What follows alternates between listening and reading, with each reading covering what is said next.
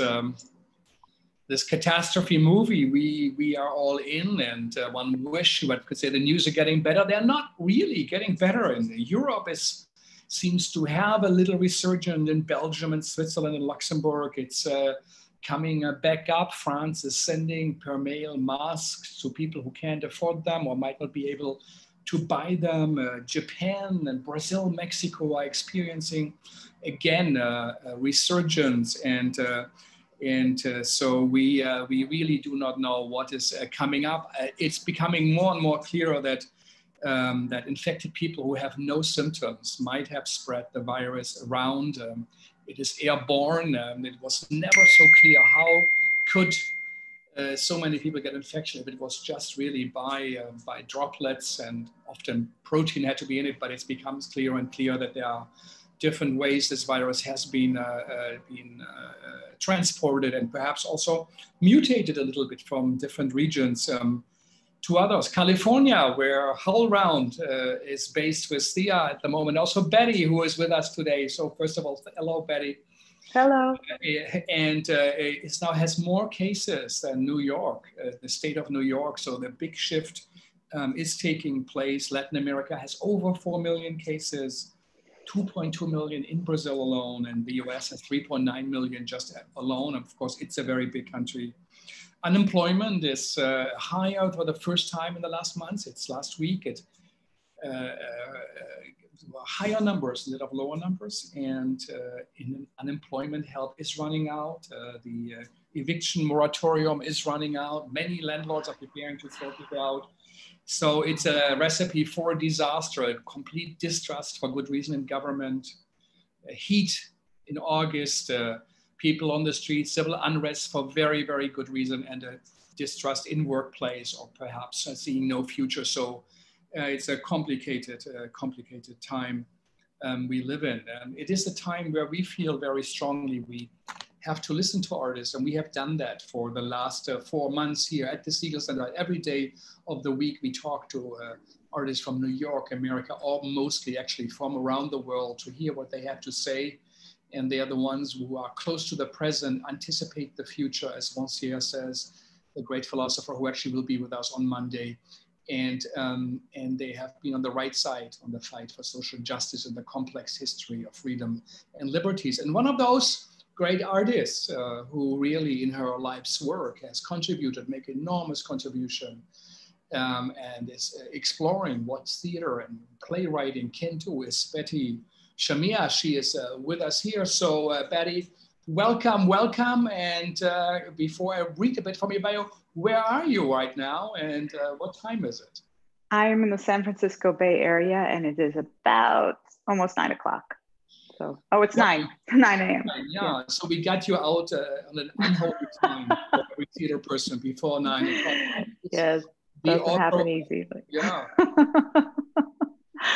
um, 15 plays, and that's a lot. And you learn something when you write and produce 15 plays. He's a Mellon Foundation player in residence at the Classical Theater of Harlem and her work includes, of course, Roar, which is perhaps one that is the most popular, most well-known, and being presented at so many colleges and cities, uh, translated in seven languages. Um, but other works, and often interesting ones, there's other ones that are not as well known, but other ones are the Black Eyed, Fit for a Queen, and uh, The Strangest, and, and many, many others. She actually also starred in her own series of monologue that was called The Chocolate in Heat, Growing Up Arab in America, which gives you an idea of what we might be uh, talking about. Mm-hmm. And it had a, a long run um, in off, off Broadway here in New York and, and went also around the country. She was named UNESCO Young Artist for Intercultural Dialogue. Uh, she's a Harvard Clifton visiting artist. And uh, she is currently developing a new comedy, uh, Malvolio, a sequel mm-hmm. to Last Night and, um, and first of all, Betty, thank you for taking the time. I apologize for talking so much. It's all, as we say, what? and then I start. great, Frank, uh, Frank Hentschker from the Segal Center. So Betty, how are you? What's going on? How come you're in San Francisco and not in New York? Well, I, I've always considered myself bi-coastal. My family is based in the San Francisco Bay Area and I am, you know, very family oriented. So I spent, though I uh, New York is my artistic home. Um, my familial home, where I have a huge Palestinian family, is actually in the San Francisco Bay Area.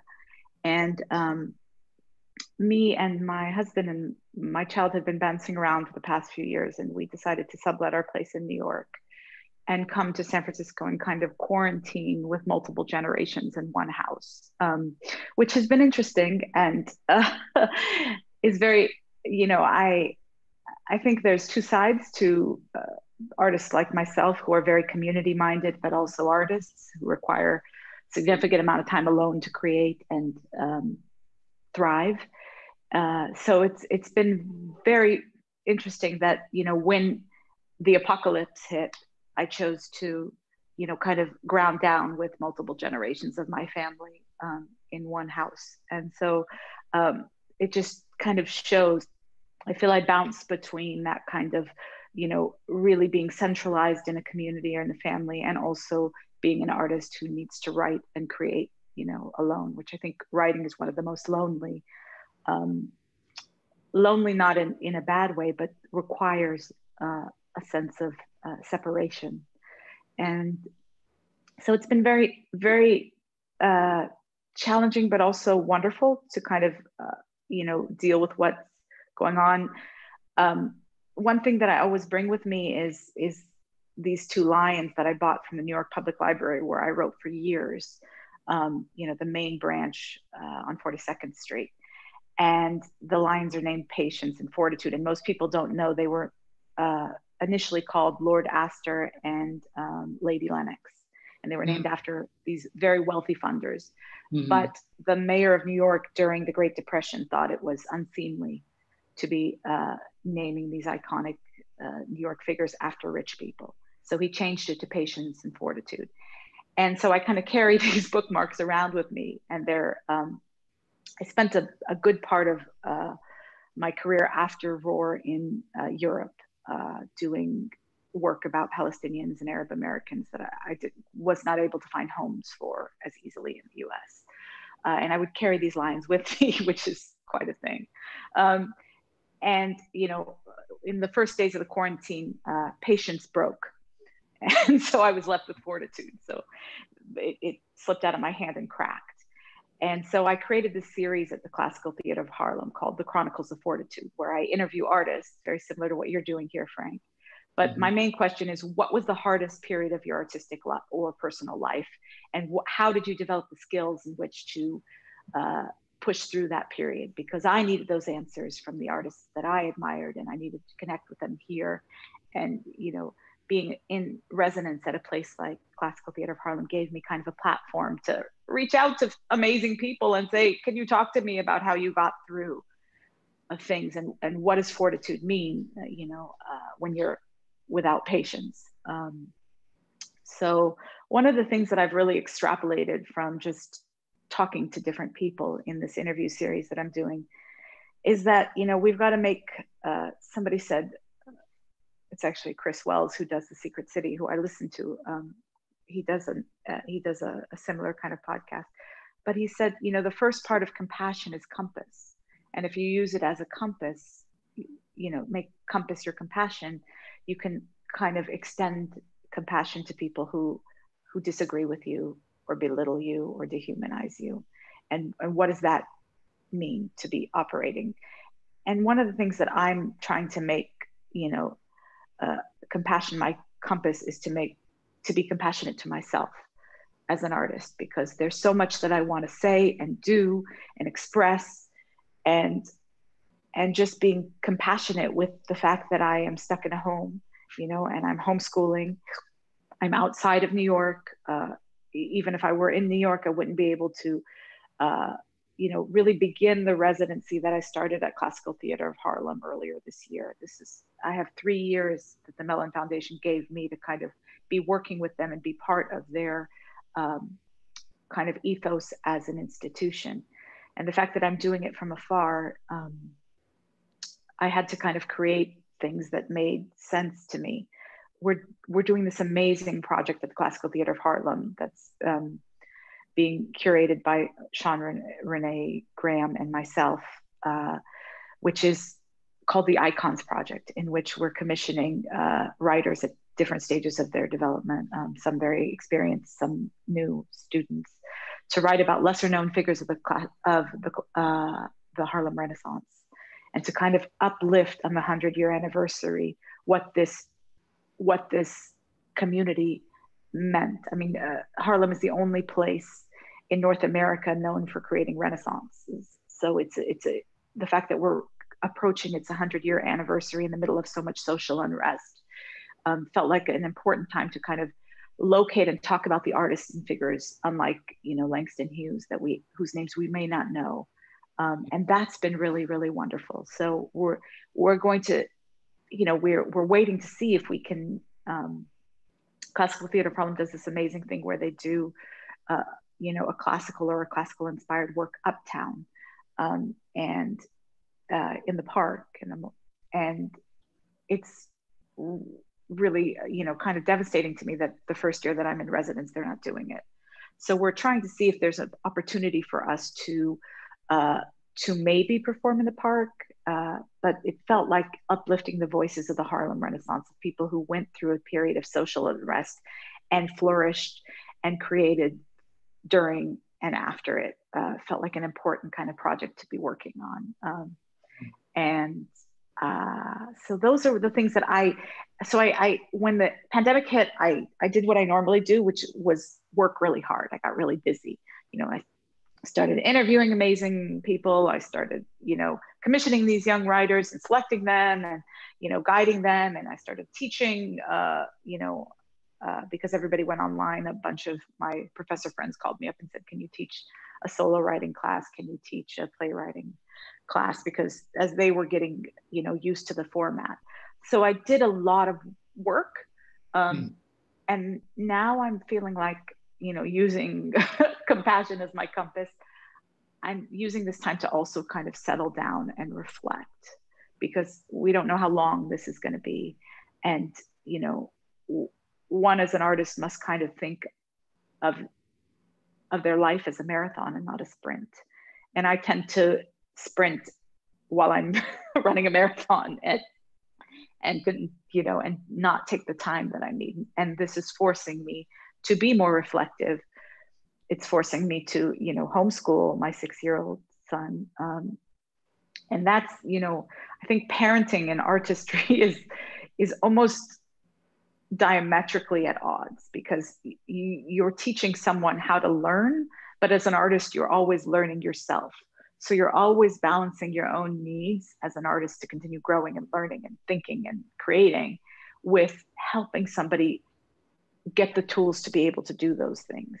And so during the pandemic, that's very much at head for the artist parents that I know um, uh, who are kind of grappling with the needs of others versus the needs of oneself when you don't have the outlets of, you know, let me hire somebody to play with my kid while I write, or let me, um, you know, run to a museum and get really inspired and be alone for a few hours. So, um, uh, yeah, so that's very uh, important. There's a lot of stuff going on, family stuff going on outside, but we'll try to ignore that. Um, uh, yeah, so that's where I'm at.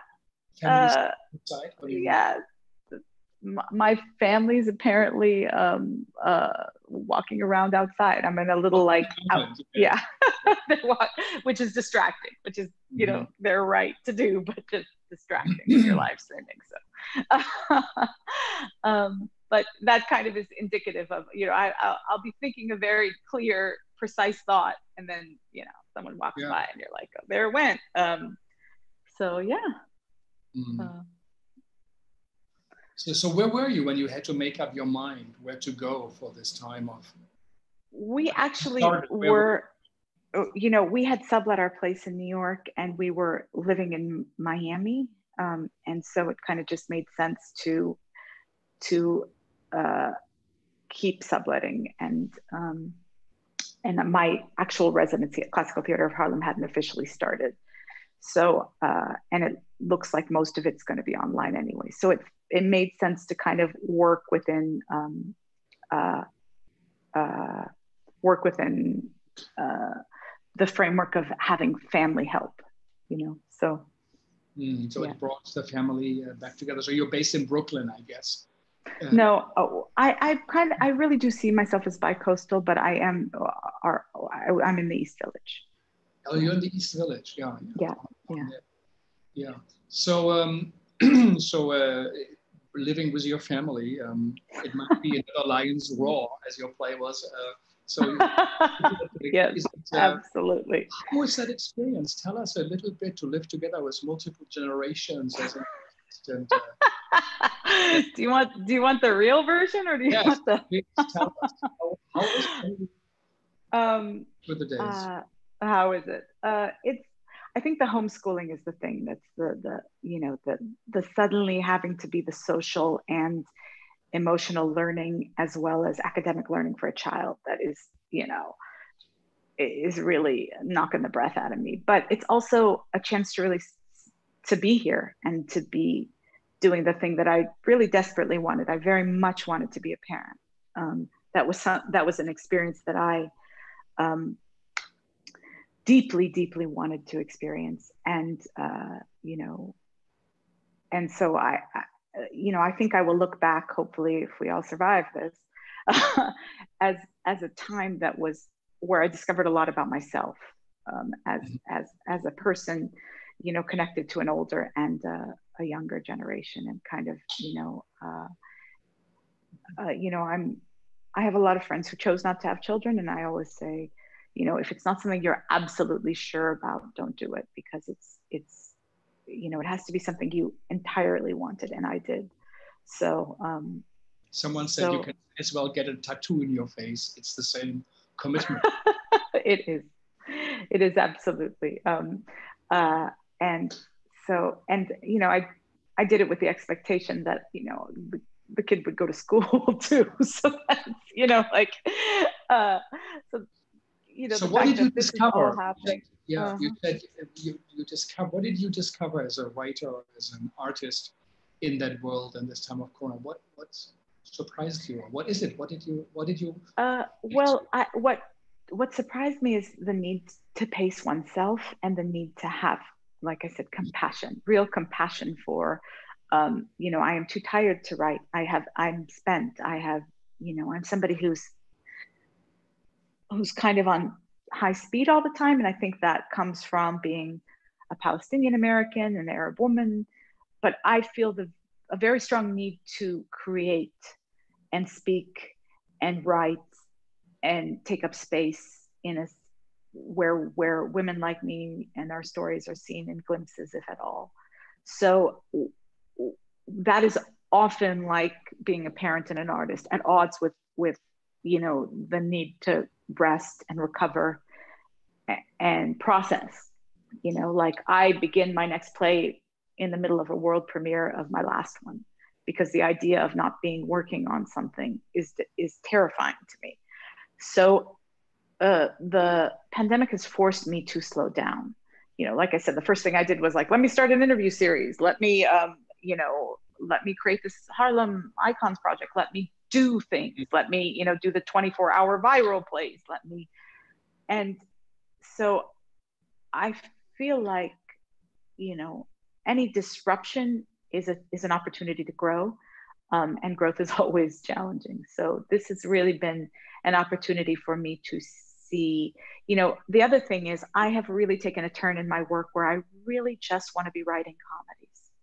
Dark comedies um, generally because that's my bent but i really want to make people laugh and have that opportunity to do that. And because i write about women and arabs and palestinians and arab americans uh, you know i'm not really known for my comic bent. And i one of the things that's really exciting for me about being at the classical theater of harlem is i don't feel like when i'm at an institution that's for uh, and by people of color that um, uh, that I have, you know, I walk in with, and people have expectations of what a play about by an Arab American woman is going to sound like, and what's the theme, and what's the subject matter, and and you know, I right now want to write comedies. I mean, the first thing, and that generally happens. I mean, after the Great Depression, you know, all Hollywood was making was comedy. Um, and I think that that's going to be something that comes out of, you know, any disruption. Our lives are so unsettling and uncertain and difficult right now, and uh, the ability to make people laugh is is uh, something that I'm really eager to to get back to live theater. You know, I'm, I, you know, I'm. I want to say something about live theater, and live theater is like music, and some of the earliest theatrical experiences I had was in Daly City, where I grew up um, until I was a teenager. Going to like the public library and getting, you know what I mean, those Sony disc players of Broadway plays, not even musicals, and listening to them. So, what I'm urging people who are like sick of live streaming of theater is to think of it like music. Listen to it, don't sit there and watch flat actors and compare it to Hollywood and think that that's going to be, you know what I mean? Uh, mm-hmm. Mm-hmm. Uh, think of it like an opportunity to listen, because that's, I mean, I, I heard a, a I think it was a, you know, Broadway production of the Duchess, the Duchess of Malfi, that still to this day, those actors' voices have stayed with me, and and so I feel like if we stop staring at our screens and start listening to plays again, um, it, it's a much more fruitful experience you know and and the idea that you have to be moneyed and connected and uh, you know exposed enough as a child to attend broadway shows or that we need opening night parties to experience theater is something that hasn't been true to my experience. That artists find ways to learn and grow and listen and so, you know, Classical Theater of Harlem has a, a, number of plays that they're streaming that are wonderful to be heard. You know, and the visuals are amazing too for, you know, the limitations of, you know, something that was not meant to be filmed. But I really encourage people to think about plays as music and to listen to the music of the plays, you know, in the way that you would listen to a radio play, because there's that is, you know, the I think the way we can experience live theater or performance um, more successfully you know so mm. Mm. so so do you were you able then to write do, are you working on a play now or? yes absolutely i am laughing my my you know you know what off at you know i really am very excited about my play uh, malvolio which is a sequel to 12th night. Because again um, I first experienced Shakespeare on the page. I was not exposed to uh, to theater until I was much older, and I and you know one of my teachers taught us Twelfth Night, and I there's this character that is always cast as a you know an old lech or you know a Puritan, and in my mind he was a young servant, and he's sexually humiliated in in the Shakespeare original um, in a way that is really cruel and mean. And I always thought the reason that they did that is because he was a servant. And there is a lot of classism in in plays, uh, you know, by Shakespeare, who was incredibly savvy. Shakespeare was incredibly savvy about um, kind of endearing himself to the to um, you know the royals and the ruling regime and the people who funded you know the Elizabeth, Queen Elizabeth and James after her. And you know most people don't know that uh, king james was really into I, I, I, hope it's king james it's one of the kings it wasn't queen mm-hmm. elizabeth was really into witches. And so he crafted macbeth and he uh, the king even wrote a, like a, a treatise on witchcrafts and thought that he had powers. So he crafted macbeth in kind of homage to the things that was interesting to the king you know what I mean? And even Banquo in Macbeth. Um, so he created which is which you know wasn't traditionally done. Used, of, used real magic, like real magic words. You know, yeah, yeah, exactly, exactly. So he, so he was kind of a kiss up. You know what I mean? Like, and so when I think about what's happening in American theater and how, uh, you know, uh, artists of color have been made to feel to kind of have to kowtow to uh, the people who have money and power and influence, the tastemakers. You know, it, uh, playwrights have been doing that since, since Shakespeare. You know, like, and how do we kind of change the dynamic and the, you know, one things for me that's very important you know, I feel like when I go in and try to, you know, pitch a play, everybody wants to play about sad refugees, you know, because people want to feel like, oh, they did their duty and, you know, and they also see, you know, Arabs and Arab Americans as either victims or perpetrators of violence. So they don't humanize them. And if you're a victim or a perpetrator of violence, you are only seen in relation to how you affect us and us as in the the white theater going audience. So, you know, when I come in with plays about, you know, Egyptian queens who become pharaohs or a, a, sequel to Shakespeare's Twelfth Night, you know, I, I, have a really hard time pitching it.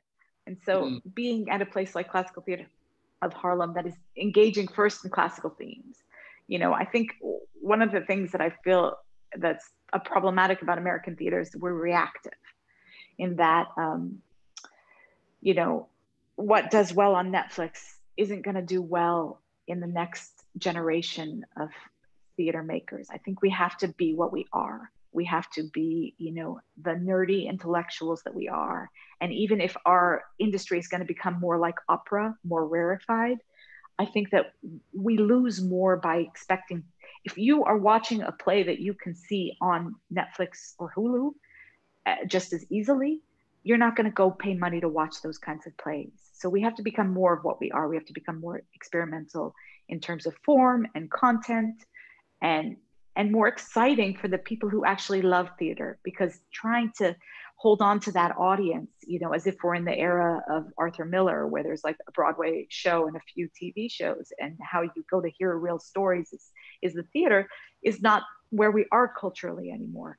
So I feel like, you know, uh, part of the reason why I was probably done in Europe more is I write big, ambitious plays. You know, I'm the the writers who excite me are Genet. I love Tennessee Williams and I love Arthur Miller, but you know, Genet's kind of wildness, um, you know, the, the blacks, the maids. That's that's where I think American theater is going to go if we're going to survive. You know, and be still remain. A, a, a really important cultural force. We need to, you know, kind of embrace that we are a theatrical form and and we have to do things only theater can do if we're going to have an audience you know so that's something that uh, and, and, again being at an institution that supports that has classical in the title that takes you know uh, writers and says what do you want to create how do you want to engage with the canon how do you want to become part of a canon um, uh, is is really really I think the future of American theater. Mm. No, no, I think it is a, a, an important concept that existing institutions, existing structures invite people in to create instead of saying, you know, we have a play, you can audition to be the director or the actor and do it, this kind of karaoke model of, um, of a theater. And if it's done well, it also has something to it. And, but most of the time it's not as good as the original, but the idea to uh, uh, open an institution, be outside, be in the parks and uh, and uh, and say, yeah, as you say, what you write could be a classic too, you know. So Roar is a classic now, and um, so uh, what are those lines? In the very beginning of the history of the of the MoMA Museum of Modern Art, there were concepts. No piece should be older than five years inside wow. the museum because then it's no longer you know, a motor is already, oh, it's a classic piece or not, you know, so yeah. Uh, it's completely uh, different from, of course, where it ended up. Um, so, um, so tell us a bit, you mentioned it, uh, the experience in the American theater. What do you think of American theater? Well, how did you experience it? Well, um, you know, I, I was very rewarded by American theater when I, uh, you know, you know, wrote traditional family dramas about Arab Americans that were not exceedingly politically uh, explosive. so, you know, I, I got out, you know, uh, Chocolate and Heat and Roar. You know, I love those plays. They're my early works.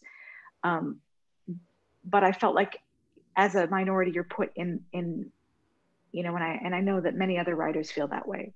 You know, I wanted to write really interesting stories about Arab Americans that were that complicated the the picture of you know Arab women as you know, for example, I wrote a play fit for a queen about a female pharaoh who ruled ancient Egypt, which was a superpower of the world, the ancient world, for 20 years, and nobody knows her name. Her name's Hatshepsut. Um, and to me, that was crazy that you could know Cleopatra and you could know Elizabeth, but you didn't know about a woman who ruled the superpower of the ancient world for 20 years. And I was super excited about that. And nobody was.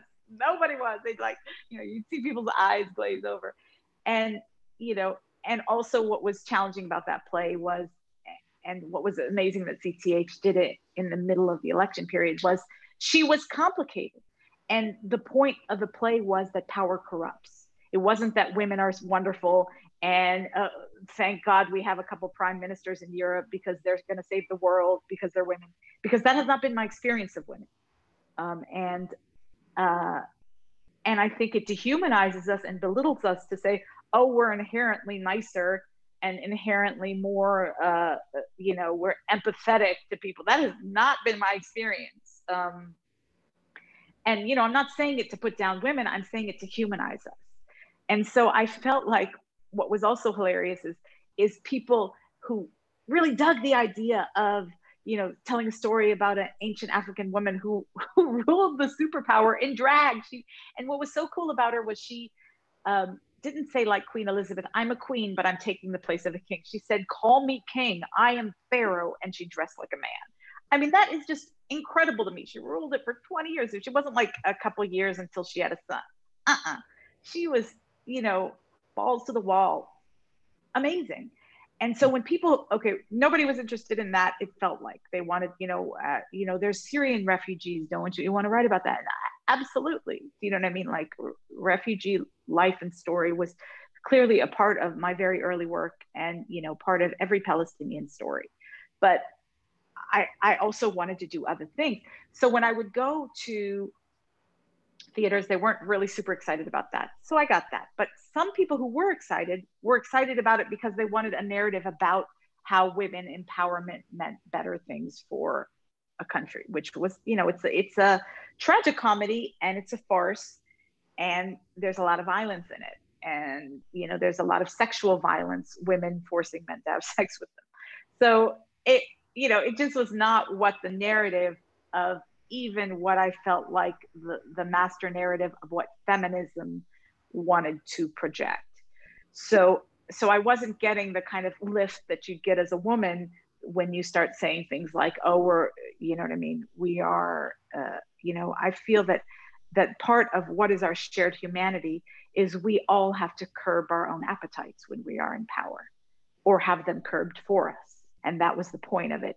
And I felt like, you know, when people were in the run up of the election, they, they didn't really want to hear that story or didn't get that what I was doing with the story was showing how men and women are human, operate the same, and they need to be in check because people who have no checks on their power, uh, you know, all of us, myself included, uh, become problematic.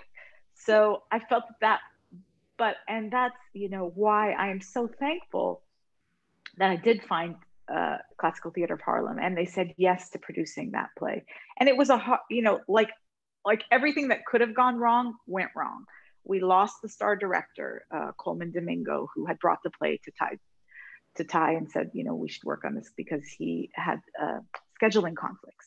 So that was terrible. We tried to get a, a downtown theater to co-sponsor, which had they had done with other CTH projects. That fell through. We then we lost our space. Like everything possible that could have gone wrong with that production went wrong. Like everything. And and i was used to the experience of a theater waiting for three or four years for the right director to say yes or you know putting a project on a shelf if they couldn't find a co-producer so i was expecting classical theater of harlem to basically treat me as an artist uh, like how I was usually treated, not at every institution. And if you look at my resume, not at the institutions that I worked at. This is not, you know, this is to, you know, these are the people who did not treat me that way and did actually produce me. Um, and I just need to acknowledge, you know, the new group in New York Theater Workshop and the Magic who really did get behind my work. But that was my experience of of being like everything has to fall in place in order for you to be produced. And everything you say in the play we have to be able to get behind in a kind of like feminism women good men bad you know what i mean? Like and and but they still soldiered on with their limited resources and did the play because they felt it was important. And that was not an experience that was um, usual for me it was usually like if everything works out you know um, then maybe but you know what's now that i'm thinking about it uh, it, it was you know and i'm thinking about the places that did support me you know those theaters that i mentioned uh, it wasn't that way at those theaters, but it, it was my experience of trying to get things up in American theater. So it, I felt like it had to be a simplistic story, particularly if it was about an Arab American or an or a perspective that was not traditional or white. And um, it had to like uh, reinforce the master narrative of you know a woman in power, no matter what kind of woman she is, is better than no woman in power. Um, uh, which uh, you know I always want to see myself reflected in positions of power. I want, you know, children to see that, um, you know, and but to not have a complicated narrative about humanity, you know, or to feel that that was somehow, you know what I mean, uh, not the story you needed to be telling right up at the run up of election time, uh, seems so simplistic to me. So, um, so one of the things I did, I wrote an article, you know, that was kind of my response to, you know, we see you white american theater which was i know that there will be people who will be targeted um, as troublemakers in american theater. And i hope that they're able to do what i did which was find an institution that really or create uh, an institution that really gets behind the work that they want to do. Um, and you know and and to really look for because i feel like one of the things i'm noticing you know as these kind of talks come up is is is I would love for you know the white allies to be able to have room to engage. And and I I feel like that will hopefully come soon and you know because there have been a, a lot of people in my life who have you know made me the artist I am by by supporting me and stepping up and not all of them are people of color and I would like for the next phase after this phase, you know, because what I'm concerned with is there's all this flurry and all this action while no theaters are operating. And I just would hate for it to be business as usual in the year or so that things open up. So I, would just love for us to think about because nobody got into theater hoping, you know what I mean, to to silence voices or or or uh, you know trample on people's rights. I firmly believe that, you know, it's a hard industry to be in and we are all doing our best and sometimes our best isn't good enough and how do we get better is a very important uh, is a is an important thing to be said as we're moving towards because you know I just hate that the fact that we're all shuttered in our homes and our theaters are closed and we're having these conversations. I would hate for there to be no impact to these conversations and no kind of um, bridging of ways for people who are like-minded and, and, and trying to engage to do so. So. Mm-hmm. So the letter was about uh, saying use what we have in a responsible way. Tell us a bit more what you wrote. Um, it said, you know, the title was it, We've Seen White American Theater. How mm. can we uh, Black, Indigenous people of color now see ourselves. And it kind of talked about my journey of, you know, writing the kinds of plays that get rewarded in American theater, which are like family dramas that are not too political, and how I was not able to break out beyond that.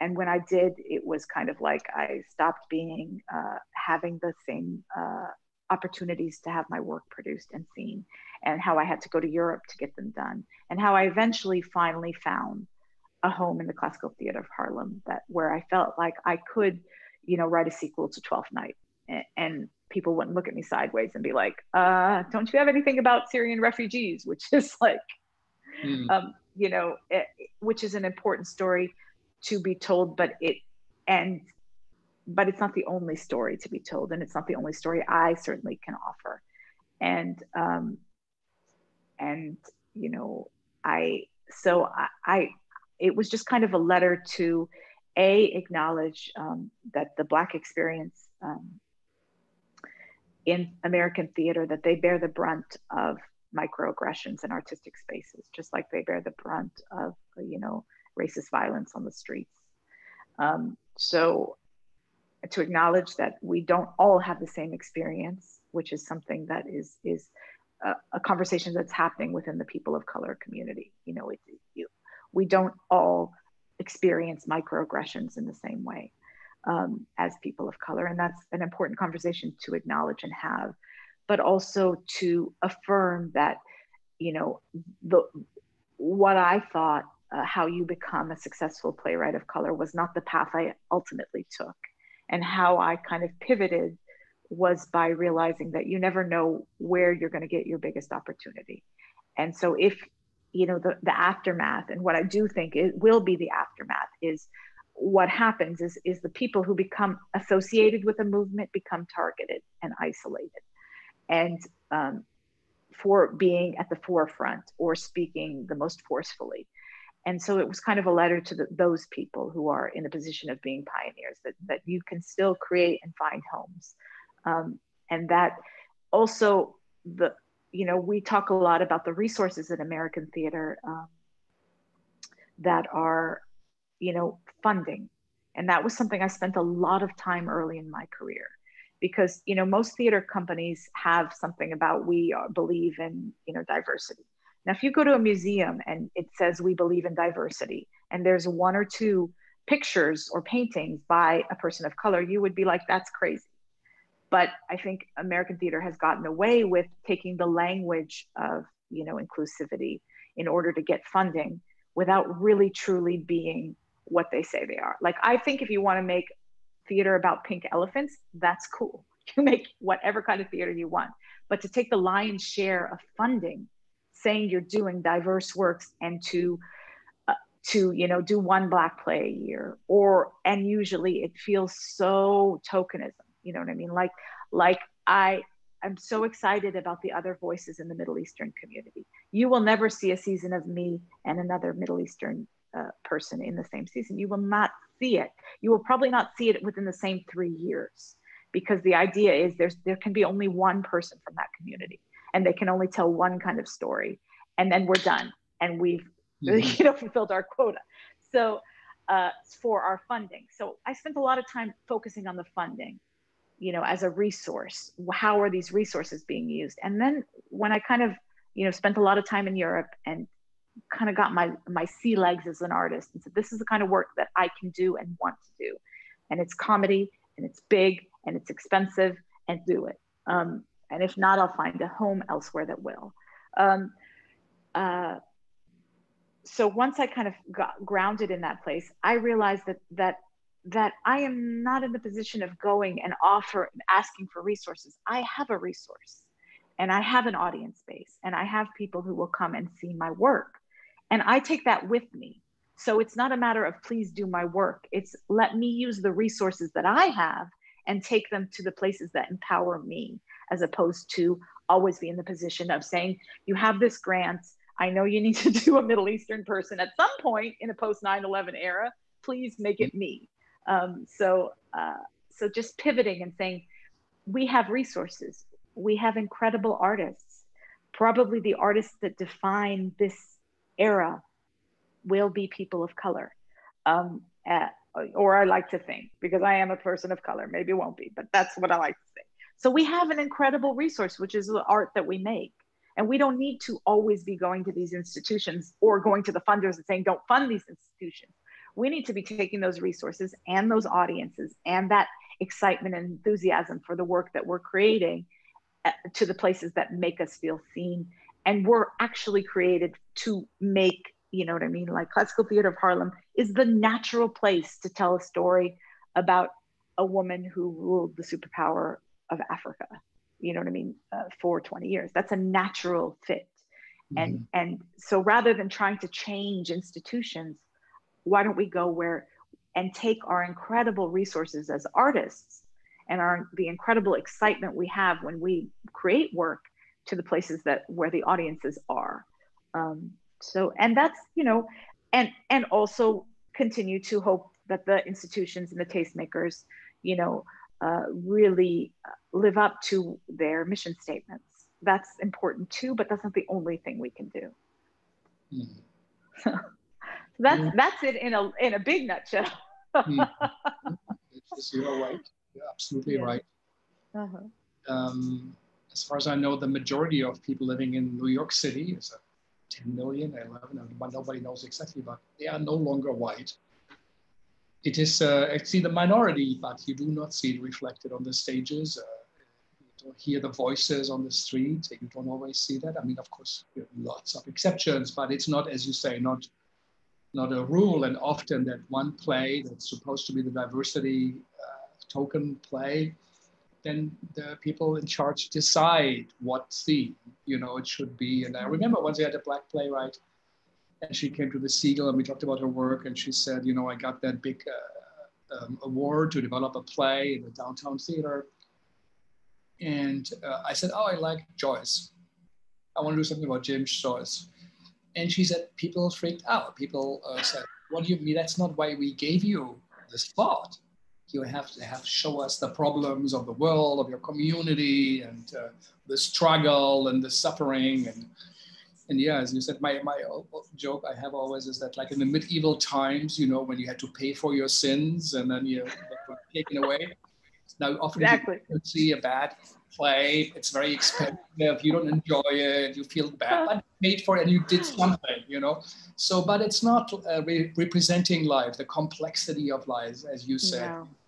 The, eh. uh, the, the, the, multiple layers of what what uh, it is all about and um, and um, so your work for sure is uh, trying to do that. I also, if I remember right, even in the Arab American community were upset with the place that you thought were also successful, the family drama, but they said, how can you show us uh, this way, right? And, uh, and uh, well, is that, do I have, to get that right? Uh, no, I, I, I'm always challenging my community. I'm always, you know, aspiring for us to be more cohesive and do better and create actual institution buildings. Um, and you know uh, uh, but that but everyone's like i said doing the best that they can and uh, you know heaven bless them for it. But uh, uh, what i will say is um, you know it's a very cynical thing. Someone uh, a black writer once told me and you know i don't know if i 100% believe it but sometimes it feels to me true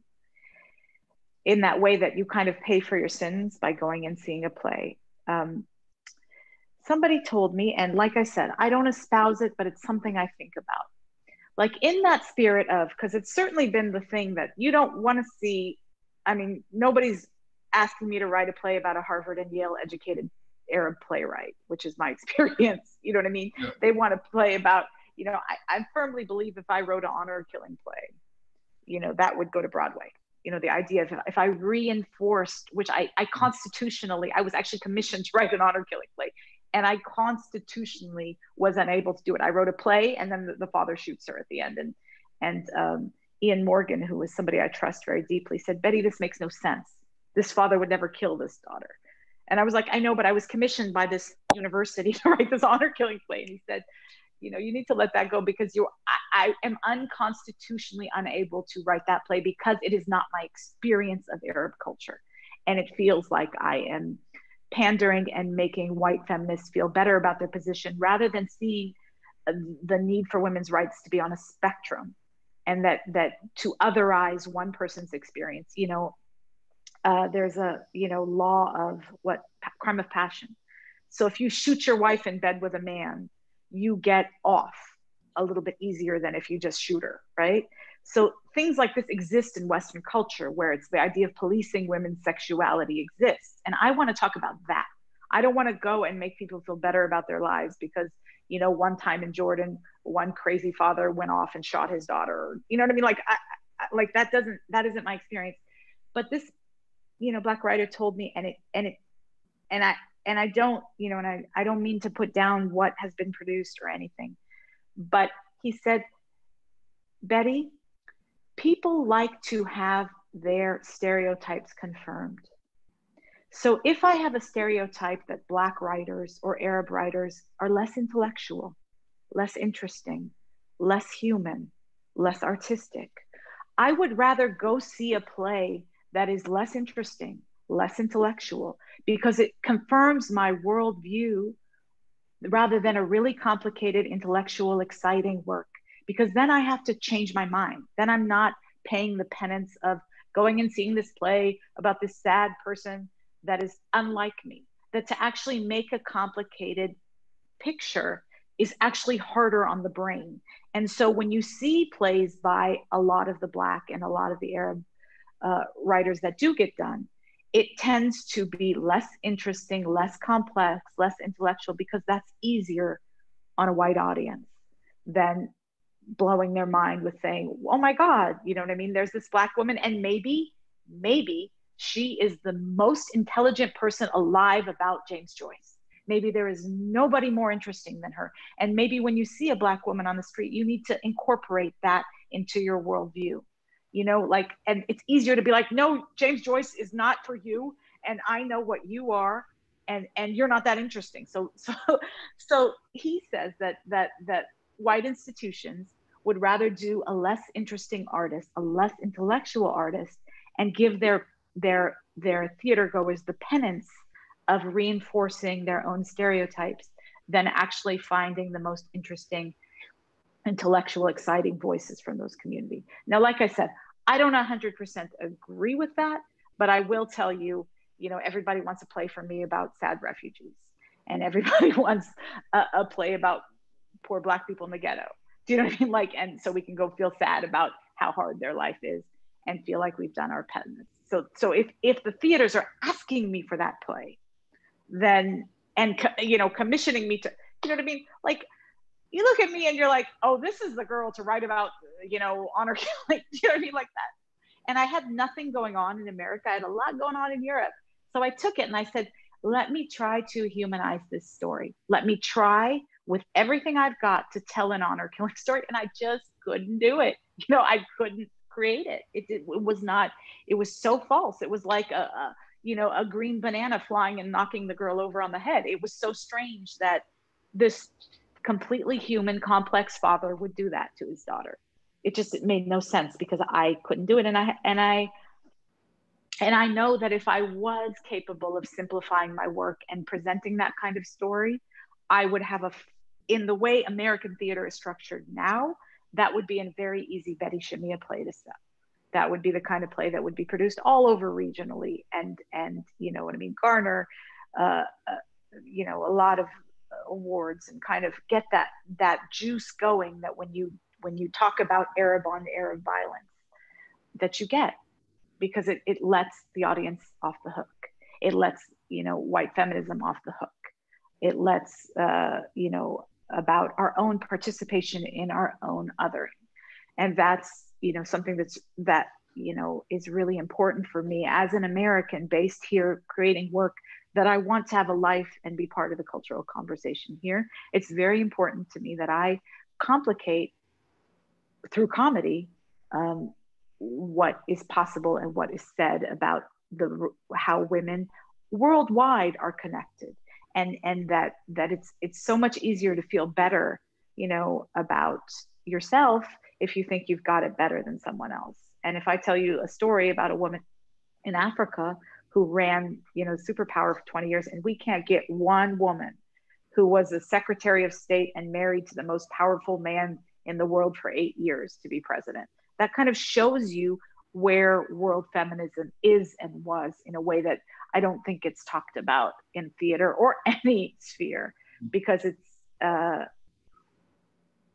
because it doesn't reinforce, like that black writer said, that kind of simplistic narrative where people are comfortable and um, uh, where I think audiences are ready to go, but I'm not sure that um, the tastemakers of our American theater have been helping us get there. Mm. It's true. If you look at the uh, early work of A.J. Kennedy, the Negro Funhouse, or She Talks to yes. Beethoven, Ohio State, yes. genius plays where you say, why the hell is that not everywhere? Why didn't she get all the opportunities in the world? But it uh, it didn't work, and uh, and uh, she truly is a is a must. And I think also it's true. I mean, even so, I shouldn't do not know enough about it. I should know more, but I also do think there is a problem, perhaps also in Europe, and I don't know enough about America, but that the white feminist movement says, I'll speak for all the women in the world, the African women, I speak for the Arab women. And, but it's a white movement also, you know, they claim uh, to yes. uh, uh, think their thoughts and uh, and uh, uh, to have an already formed opinion and perhaps without fully including them or um, or saying as some a friend of mine said you know in, in paris you know they would go to the airports of Hamid is the white uh, liberals, but you know the woman who cleans by, or they would notice them, talk to them. Yeah. So um, because they Absolutely. are Arab or African or something, you know that there's a, a, disconnect, and it's also part part of that. And to break that is, I think, the idea of theater. How do you see, how is the American, Arab American theater community ex experiencing this moment? Um, Caridad said she thinks there are very few small places that produce her work. They will, a lot of them will close, they won't survive. She says maybe people will have to go back and build uh, little bandwagons and go through the countryside uh, because it's better than nothing. But she had uh, not uh, so much hope. She said, um, wow.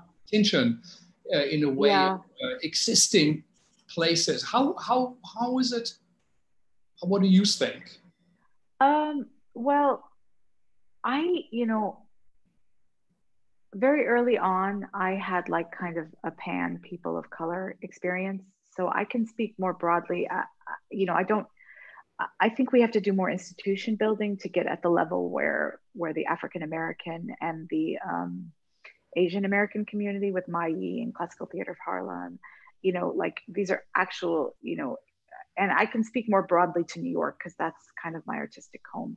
But yeah, we need to build institutions and and and when you do that, you need people who are willing to hire or step down as artists to kind of do that full time.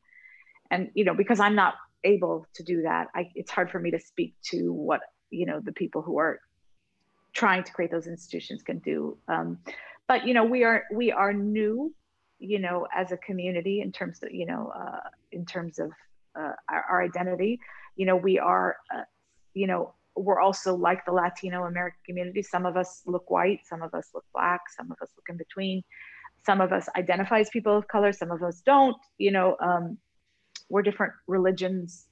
You know, uh, we're you know, there's 22 Arab countries, and and then we're also talking about uh, you know other identities. So it's like, are we Arab? Are we Middle Eastern? You know, uh, the politics of, you know, what does Middle Eastern mean? Who gets to be included?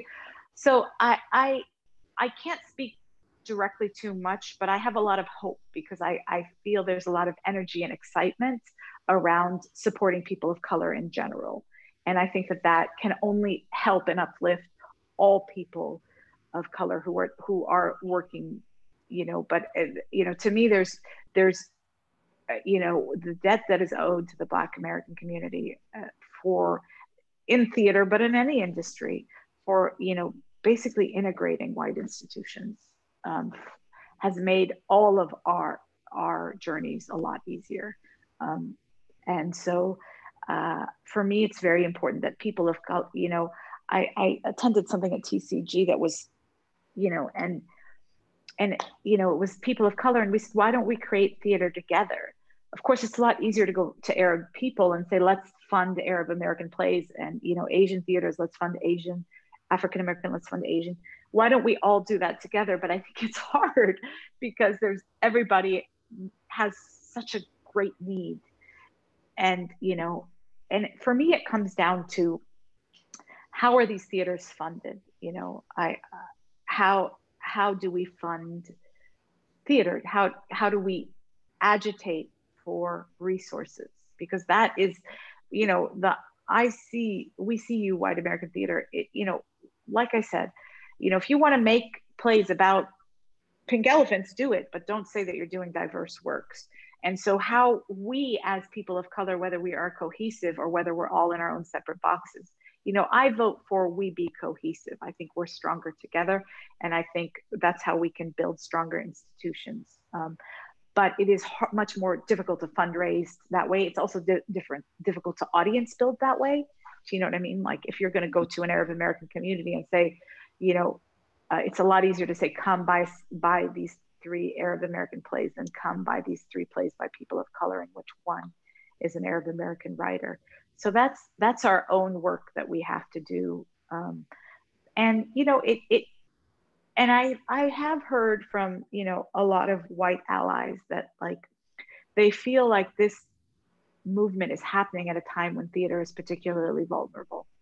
You know that that you know that they feel that this is kind of you know and and a movement happens when it happens. Uh, and I think there there are ways to think outside the box. I mean, what I think about that is is many of those institutions were on their last legs anyway.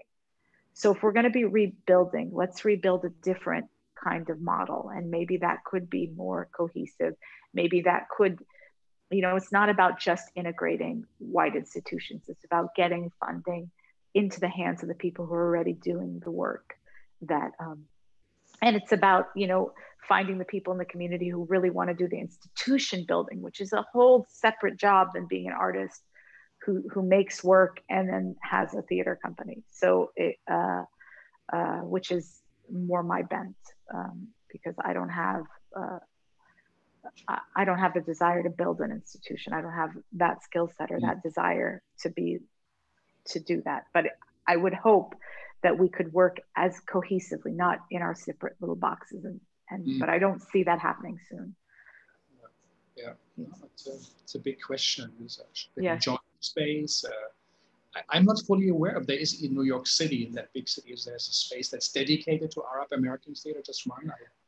Uh, no, there's not. The, uh, uh I, not that I small space. There's the... Silk Road. Uh, there's Noor Theater Company that was in residence at New York Theater Workshop. Uh, there's yeah, there's there's different inst- institutions uh, that are symbolically represents the significance of it. And uh, I know even the Great Play Company, one of the few companies that is dedicated to plays from around the world, they don't have a space. They can't afford it. They are lucky if they find a partner who produces a play that is of significance, you know, that is an international play, and which we do need also to hear from. And, Absolutely.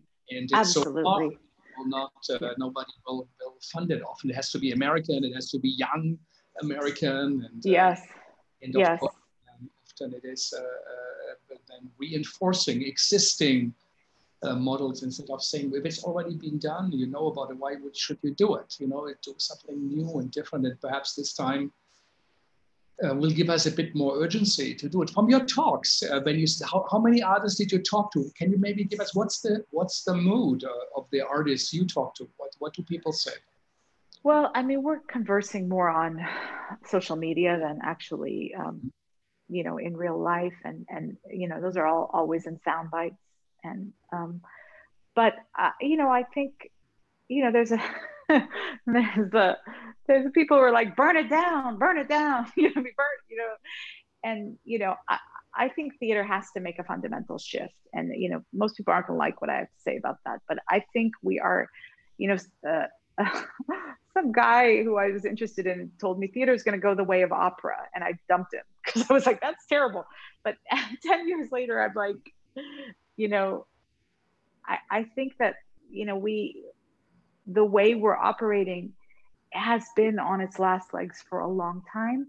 And you know either we have to be able to make it cheap and dirty you know and and or share spaces or learn how to audience build. And i think the way to do that is to do the kinds of plays that you can only the all kinds of experiences you can only get in theater. Like i did the the last play i did in new york was the strangest which is um, uh, from the perspective of the mother of the murder victim and uh, Albert Camus' The Stranger. Kind of it's her story, and she tells it in an Arab storytelling cafe.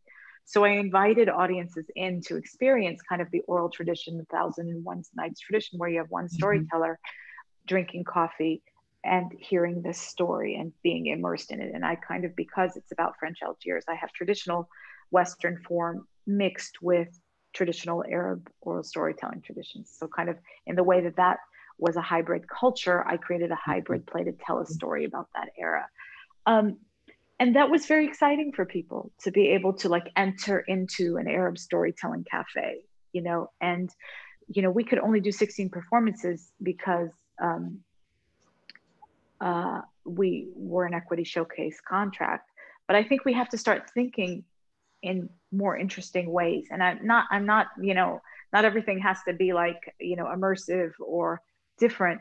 But I think there's room for us to evolve, you know, uh, and that's why you know classical theater of harlem doing classical plays in, you know in open air stadiums in the way that they did in athens is it so exciting to me i mean people people go out for that stuff you know and so you know are we going to look at little family dramas like we're in the era of you know tennessee williams? No we have to continue to evolve. And you know i just have so much empathy for everyone who is we are all trying to survive right now. Just survive, like not get this damn COVID 19 and not be thrown out of our homes and not, you know, so, so I have such empathy for people from any background who have dedicated their lives to trying to make uh, theater their their way of being in the world. So I, I hope we can all together figure out how we are going to survive as because I firmly believe this too, as somebody who has worked in so many different cultural contexts and with so many different kinds of artists.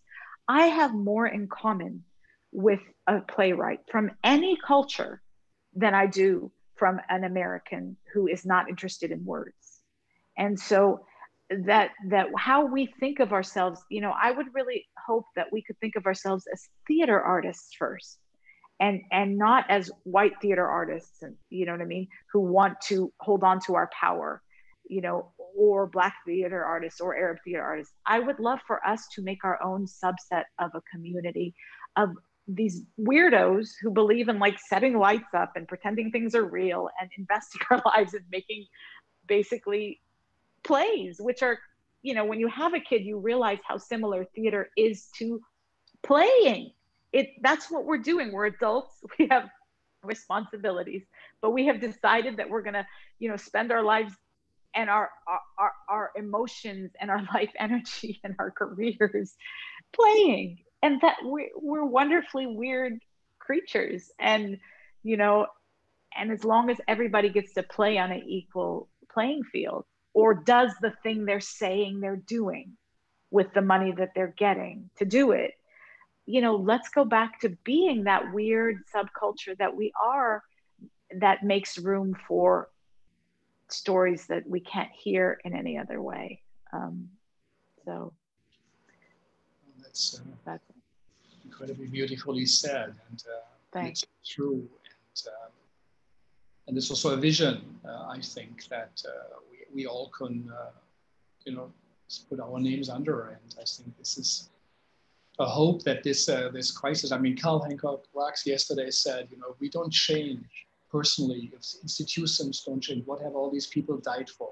COVID that put us in such existential trouble. And he says, so as you said, we don't know if we will survive, and it's really true. And and even mankind itself somehow is that saying, what if there is no vaccination? Yeah. It looks like people who are infected get it again and get it more severe than the first time. So um, it could very well be. And um, so um, this, this, is a more serious time. And, uh, and uh, so we have to find better forms. We have to find better ways of living as we all see the American form of the health insurance, not having a nationalized uh, standardized health insurance is a terrible system. It doesn't work. Everybody knew it before, but now like an x-ray, it's clear. And perhaps also, as you point out, something was already deeply wrong in the theater where artists perhaps are not uh, part of the artistic decision that money goes to institutions. It's run often by people who studied business administration or other, but artists, and it's important, but they should be on the table, you know, in the boardrooms. It should be shared, you know, something to say. And that's, that's the moment uh, perhaps isn't, uh, is not fully there. So there is a lot to, to, to be done. And I think your work um, is inspiring. And also, I think your idea to say perhaps a comedy uh, will be uh, something of significance. Heiner Müller said, I can only write my tragedies in, in, dictatorial uh, uh, societies. You know, you need. So uh, your idea that he said comedy is for your democracies and uh, understand what we're doing. And so it's a hopeful that you say we perhaps move into a way where this is the most significant, perhaps also ridiculousness represents the real world much better, that it's farcical, that our leaders are not, Trump is not a tragic leader, you know, as pointed out, it's a farce, you know, and it's, it's disrespectful um, to the people he's sworn to serve. So we have to be um, part of that change. And so it's important that what you do, we are coming to the end, and of course we could talk so much more. And um, and by the way, listening to you, I would say maybe the classical theater of Harlem should be the Renaissance theater of Harlem. You know, listening that you are doing your project now. You know, and uh, and it might be um, a name that also uh, uh gives hope and connects and to, to have a rebirth um, of something. And um, and uh, Hanns Lehmann said, and I always quote it, he said, theater is a big house and it has many rooms. And there are rooms for the revival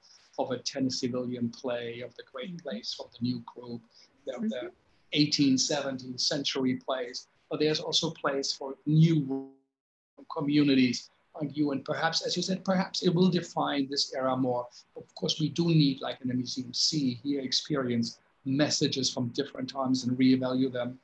And um, but what is missing at the moment is spaces for um, uh, artists who are part of that complex uh, community structure or society we all live in, and they are not represented as they should be. There's a lot of space. To, but we need to hear these stories, as someone said who was on with us here from the Caribbean, and uh, that uh, you know if we don't tell the stories, we, are sick, and we don't hear the stories we need to hear. We are so it's part of healing and. Uh, and I think uh, uh, what you did and what you are on to discover is of significance and importance and great for the classical theater of Harlem to give you a space for the Mellon to support you, the people to come, for your family to give you a space. I can only imagine how complicated it is that in a way you are isolated, but you're not alone. You don't have solitude with this difference between the loneliness and solitude, but the solitude as a writer you don't have, even if you are, you know, because now you're isolated, but you don't have that. So it's a very hard place to be. And um,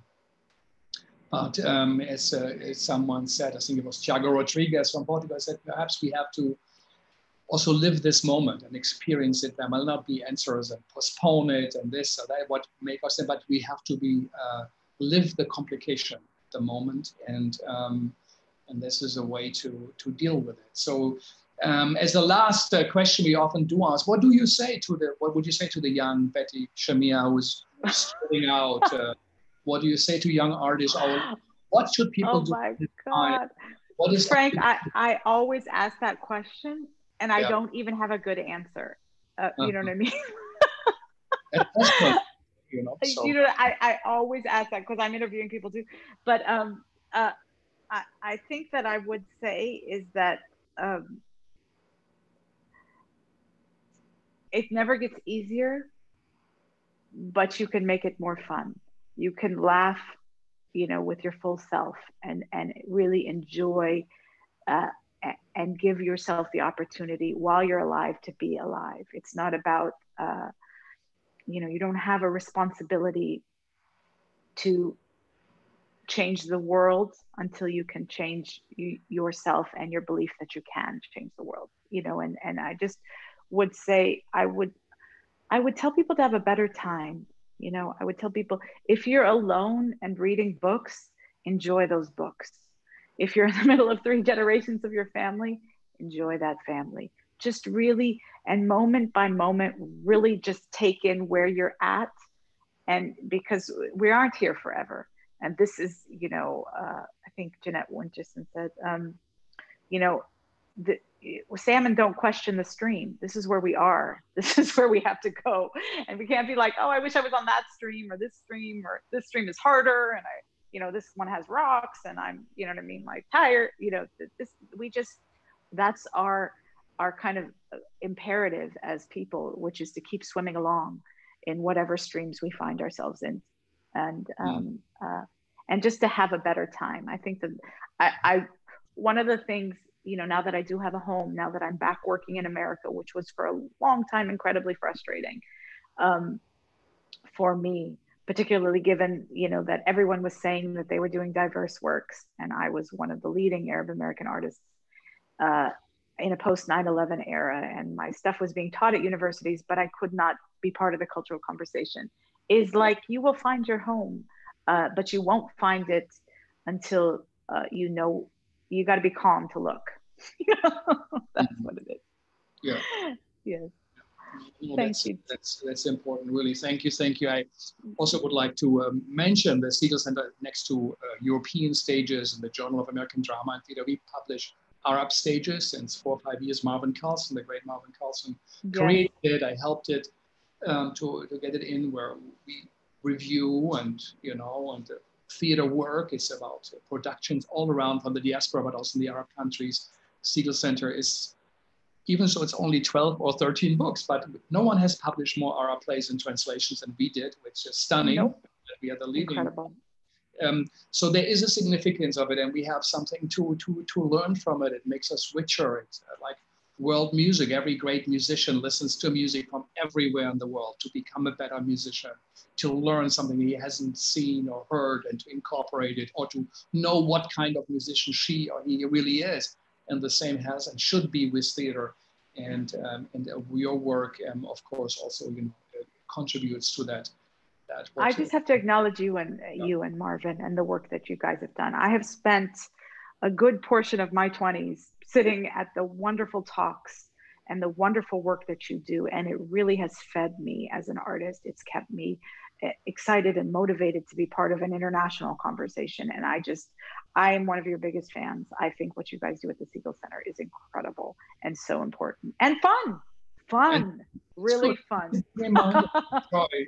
that is joy is a signif- of significance. You know, I think mm-hmm. a Buddhist that the uh, joyful participation in the sorrows of life.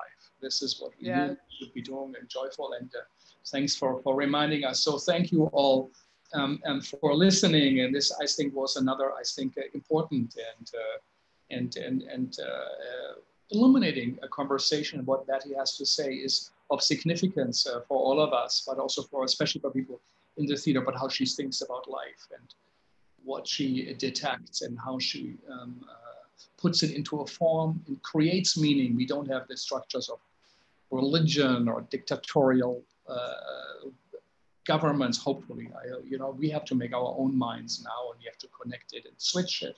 And that's okay too. It's hard, but I think theater can, can help. Uh, tomorrow, um, um, we will um, continue um, here um, uh, on our Segal Talks and um, we will have Adelheid Roosen from Amsterdam and she will talk uh, with uh, Melanie Joseph about uh, her work, uh, socially, socially engaged work with communities uh, in in, in Amsterdam. As a theater artist on the fringes, she has become by Vogue was mentioned, was declared Women of the Year in Holland.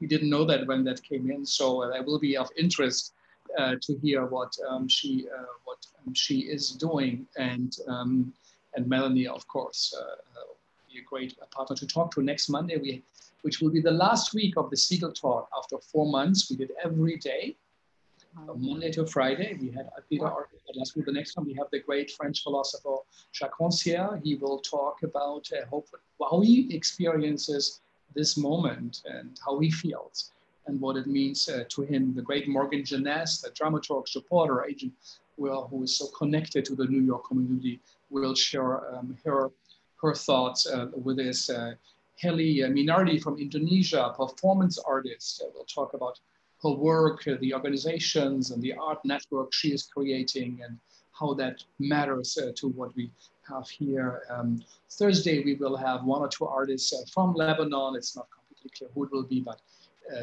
we will announce soon. And Friday is kind of a closing. Richard Schechner will come back and talk about theater performance and also perhaps lead us a little bit to the uh, upcoming TDR edition. Um, we also had good news. PHA, the uh, Journal for Performance and Art, will, ex will publish 30 excerpts from our conversation in the upcoming uh, Performing Arts Journal edition, and they're doing very fast. It will go to print next week. So people will have access to it. Students, whoever teachers can perhaps also find this out. It's on MIT Press. It might even be publicly available. We don't know yet. So um, thank you, Betty, for really contributing. Thanks for our audience for listening. And it's important for Betty uh, that she knows that you care, that we listen to her. As she said, she was part of that conversation, but didn't feel uh, she was in the center of it. And I hope this also uh, puts you a bit more um, into it. And uh, it can be something in there that is of significance for our lives. Thanks to HowlRound for hosting us and the Segal team. So um, see you all hopefully uh, tomorrow and uh, next week. And Betty, again, thank you so, so much. And it was a very, very significant what you said. And it's something a lot to, to think about. Bye bye and good you. luck. Bye. Thank you. Good Friday, all my best to your family and that you all stay safe together. It's a big, big, big challenge and that we all get through this.